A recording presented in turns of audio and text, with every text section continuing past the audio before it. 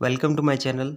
हम पढ़ रहे थे two dimensional geometry in polar coordinate और आज इससे रिलेटेड हम एक एग्जांपल करने जा रहे हैं। तो उसकी स्टेटमेंट देखते हैं। Prove that in any conic sum of reciprocal of to perpendicular focal कोड is constant and perpendicular focal code of rectangular hyperbola are same दो पार्ट इसके प्रूव करने पहला ये कहता है कि जो हमारे पास में कोई भी कोनिक है, उसकी दो परपेंडिकुलर फोकल कोड ले ली। उनका रेसिप्रोकल करेंगे और उनको ऐड करेंगे तो हमारे पास एक कांस्टेंट वैल्यू देगा। सेकंड ये कहता है कि जो परपेंडिकुलर फोकल कोड है रेक्टेंगुलर हाइपरबोला की, उनकी लेंथ सेम होती है। राइट ये हमें प्रूव करना है। तो सबसे पहले हम फ़र्स्ट केस लेके चलते हैं। हमने माना ये हमारा क्या है? कोई भी एक कॉनिक है। इसके ऊपर हमने एक पॉइंट मान लिया पी, जिसका कोऑर्डिनेट वेक्टोरियल एंगल थीटा है तो इसके कोऑर्डिनेट क्या गया एस पी और थीटा। अब ये हमारा क्यू एस क्यू डैश, हमने मान लिया क्या है? नाइन्टी डिग्री एंगल है इनके बीच में। दो परपेंडिकुलर फोकल कोड चाहिए थे। एक हमारा ये आ गया, दूसरा ये आ गया नाइन्टी डिग्री एंगल है। तो इसके कोऑर्डिनेट क्या आएँगे? एस क्यू थीटा प्लस में पाई बाई टू। अब हमें पता है कि ये जो एंगल है, ये जो एंगल है पी एस पी डैस एक स्ट्रेट लाइन है तो ये angle ninety one eighty degree आ गया। और तो इस पी डैस का कोऑर्डिनेट क्या आ गया? S P dash pi plus में थीटा हमारे पास में आ गया।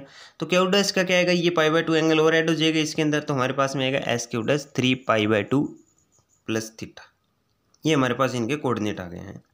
तो सबसे पहले हमें P P dash length find करनी और क्यू क्यू डैश लेंथ हमें फाइंड करनी बेसिकली काम तो यही है हमारा। तो हमने मान लिया L divided by R is equal one plus e cos theta ये हमारी क्या है? कोनी की इक्वेशन है। तो पी का कोऑर्डिनेट आ गया एस पी थीटा क्यू का आ गया S Q pi by two plus में थीटा और पी डैश का आ गया S P dash pi plus में थीटा सिमिलरली क्यू डैश का हमारे कोऑर्डिनेट आ गया S Q dash three pi by two plus में थीटा हमारे पास में आ गया। अब ये सारे के सारे पॉइंट किस पे लाई करें कोनिक पे लाई कर रहे हैं। तो कोनिक की इक्वेशन को वेरीफाई करेंगे। कोनिक की इक्वेशन को वेरीफाई करेंगे तो सबसे पहले पी पॉइंट के लिए हम लिख सकते हैं L divided by S P किसके इक्वल आएगा? One plus e cos theta यहाँ से एस पी किसके इक्वल आ गया? L divided by one plus e cos theta तो पी डैश पॉइंट के लिए क्या लिख सकते हैं? L divided by S P dash किसके इक्वल आएगा? One plus e cos pi plus में थीटा क्योंकि वेक्टोरियल एंगल क्या है? Pi plus theta cos pi plus theta minus cos theta होता है तो हमारे पास आ गया L minus e cos theta यहाँ से हमारा एस पी डैश आएगा L divided by one minus e cos theta आ गया। अब हम क्यू पॉइंट के लिए निकालते हैं। तो क्यू के लिए हमारे पास आएगा L divided by S Q is equal to e cos अब वेक्टोरियल एंगल क्या है? पाई बाई टू प्लस में theta cos pi by two पर चेंज होता है। साइन में प्लस थीटा सेकंड क्वाड्रेंट में अपना नेगेटिव होता है। तो हमारे पास आ गया one minus e sine theta हमारे पास आ गया।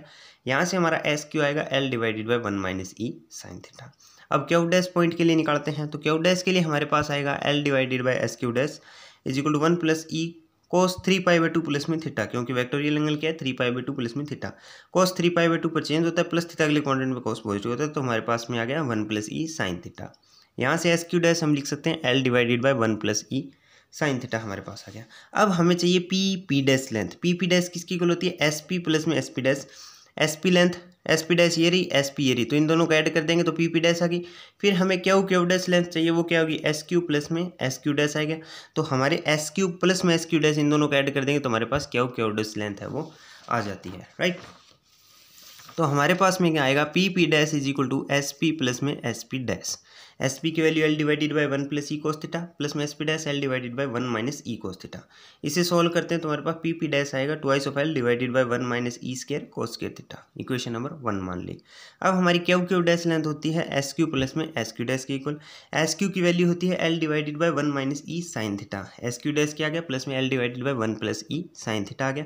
इसे सॉल्व करेंगे तो हमारे पास क्यू क्यू डैश आ गया two L divided by one minus e square sine square theta equation number हमने टू बना लिया राइट आगे इतनी बात समझ में।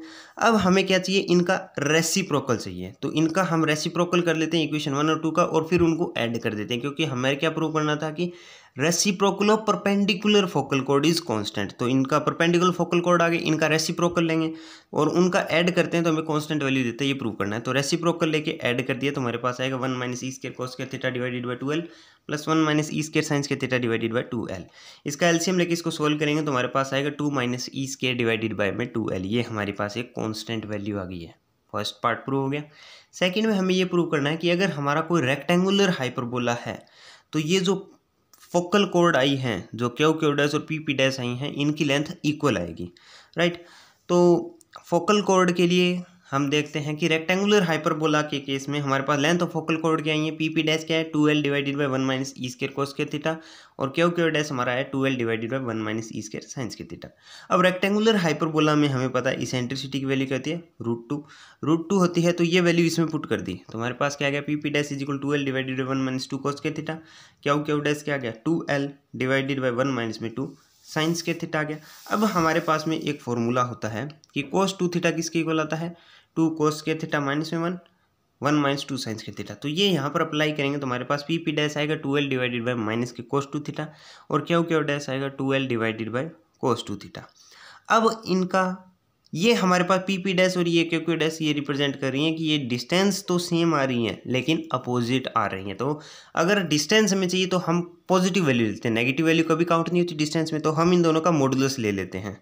तो हम क्या कह सकते हैं, किसी भी गिवन वैल्यू ऑफ़ थिट्टा के लिए, किसी भी थिट्टा की कोई भी वैल्यू पुट कर दो, जो पी पी डैश का मॉडुलस और क्यू क्यू डैश का मॉडुलस है, वो सेम आएगा, तभी डिस्टेंस हमारी सेम आ गई।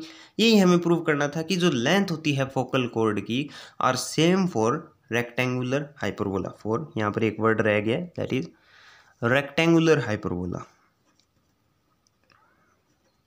rectangular hyperbola क्योंकि अगर रेक्टेंगुलर हाइपरबोला नहीं है तो ये सेम नहीं होगा। अगर रेक्टेंगुलर हाइपरबोला है तो ये लेंथ हमारी सेम आएगी। Thank you